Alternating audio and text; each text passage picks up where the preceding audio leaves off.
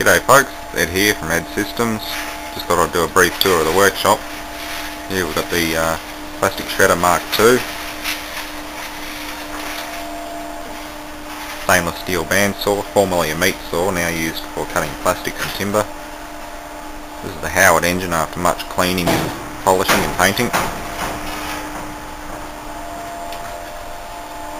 Got the basic drill press, tool and cutter grinder, another monsterized Chinese drill press. Top of the spindle snapped off under the tension of the V-belt so I replaced that with a much better single speed system for slugging holes. Various grinding machines, not all of them work at the moment. Electrolysis system, derusting and cleaning, also good for generating hydrogen. Has the cooling coils for it. When, it, when it's running on a hot day the solution almost gets to boiling point so I've decided to pump it through a coil system to cool it down. Various tooling and bits.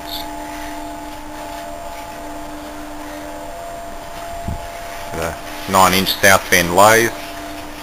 It's still set up on the temporary bench. The belt drive assembly normally runs from underneath but because I set it up for a temporary test it's all mounted over the top. I restored this one about 12 months ago. I think it took about 6 months worth of work and probably about $150 worth of materials to clean it up. Well, the machine itself didn't cost me anything since it was almost in boat anchor condition. More tooling and bits. The head's from a Holden 253 very rough and nasty. I'm going to be looking for replacements for these.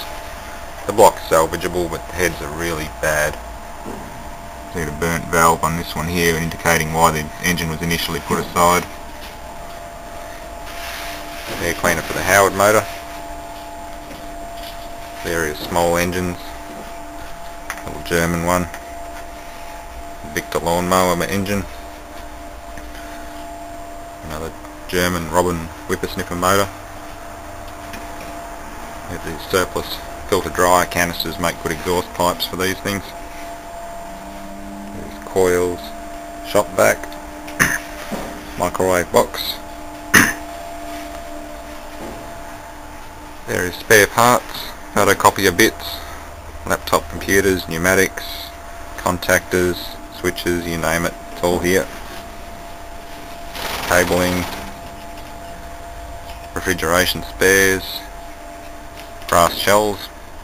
I'm a bit of a militaria collector myself, so I'm always polishing and machining new projectiles for dummy rounds. The chainsaw I'm doing up, old 1960s era Stihl. Various bits and pieces, tubes,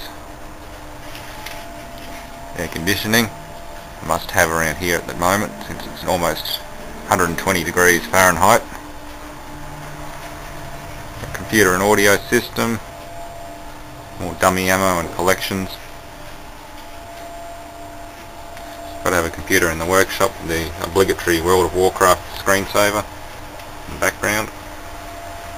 Scope, old tube bits, more air conditioning and ventilation systems, dual stage fan, other junk variable speed drives, car tyres, you name it, it's all here. Power hacksaw made from a washing machine, lathe, and I'm just about out of time.